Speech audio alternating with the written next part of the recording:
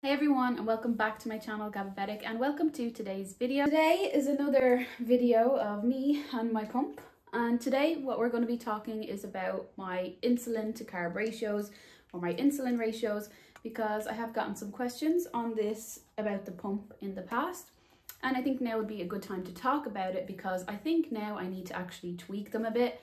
I've been on the pump for about five months now since April really. And when I started on the pump we pre-programmed in the insulin to carb ratios but now I think it's time to adjust them a bit because things I've gotten used to the pump and things have kind of changed a bit so I'm going to be talking all about insulin to carb ratios or insulin ratios in this video Hope you enjoy. If you do, please give it a big thumbs up, comment down below and subscribe if you're new to the channel. So first of all, I'm going to start off with what is carb ratio or insulin to carb ratio.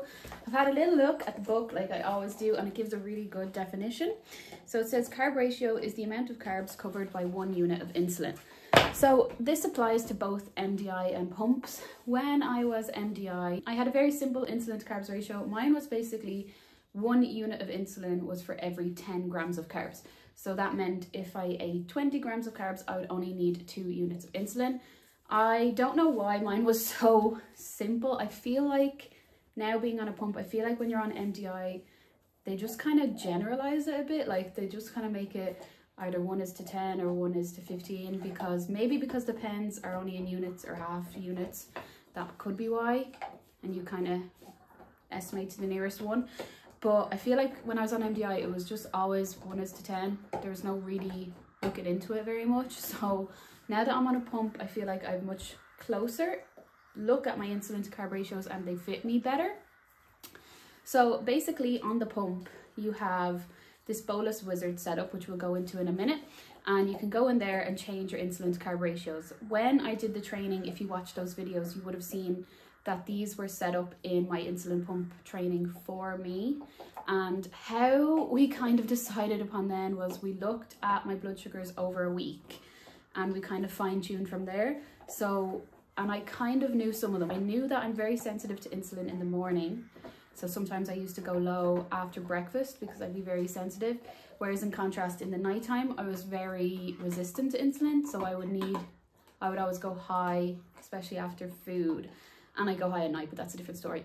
So I kind of knew those things. So basically, in order to set up the insulin to carb ratios, what we did was monitored the blood sugar before I started on the insulin pump and looked for patterns. And that's kind of how we had a basis for my insulin to carb ratio. So that's kind of what I'd recommend if you're the first time trying to figure out your ratios.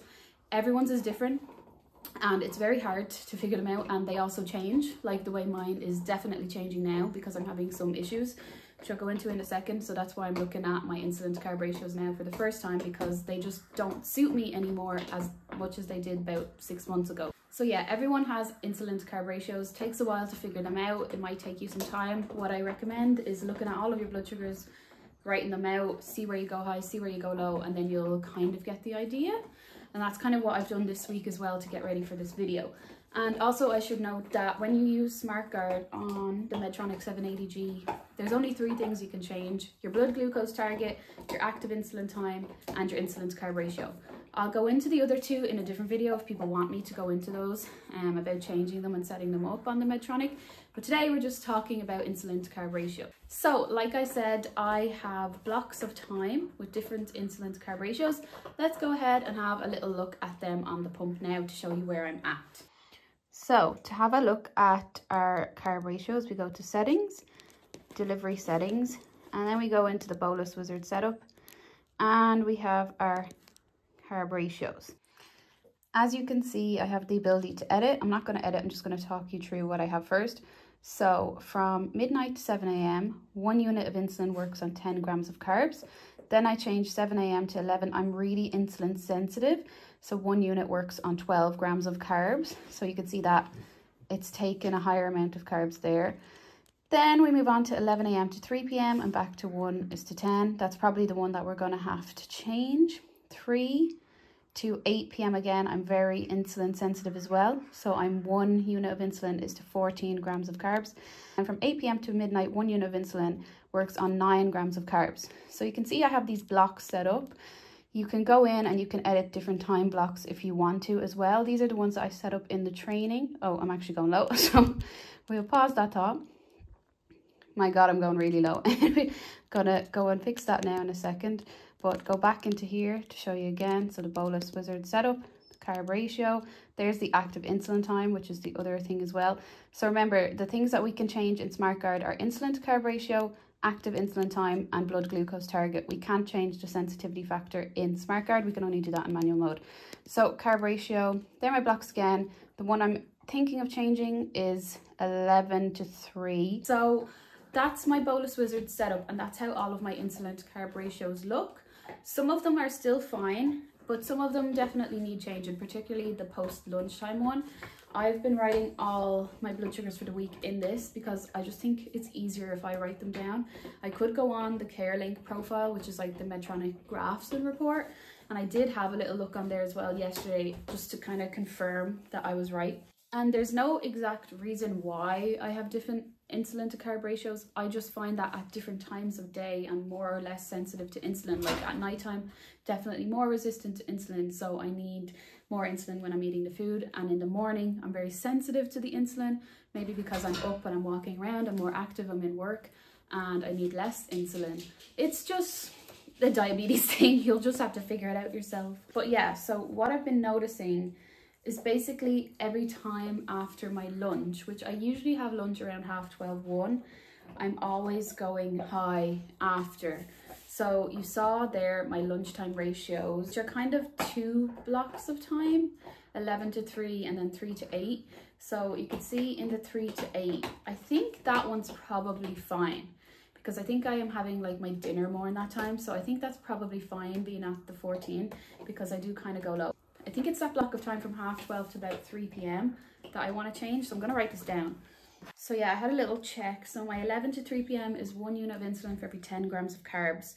And I just don't think that's working anymore. I think like I'm always going high the last two weeks and like high enough, like 13 or 14. And I just don't think that's working. So I don't exactly know how much you're supposed to change like your ratio by. Like if I changed it dramatically from like 1 is to 10 to 1 is to 5. Maybe that's too much. So my plan is, today's Sunday, the diabetes clinic in Ireland, you can only ring on Mondays.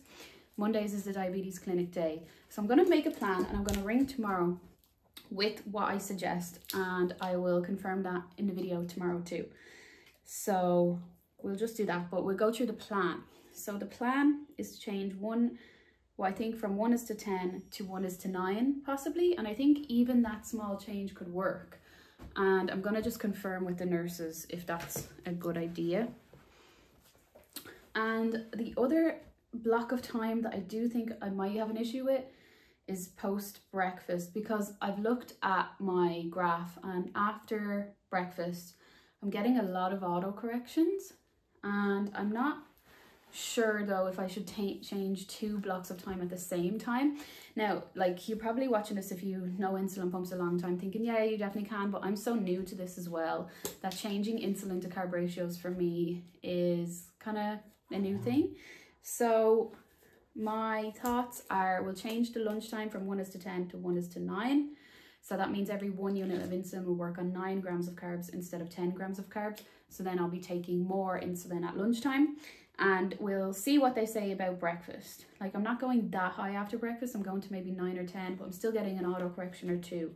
So maybe I could fine tune that.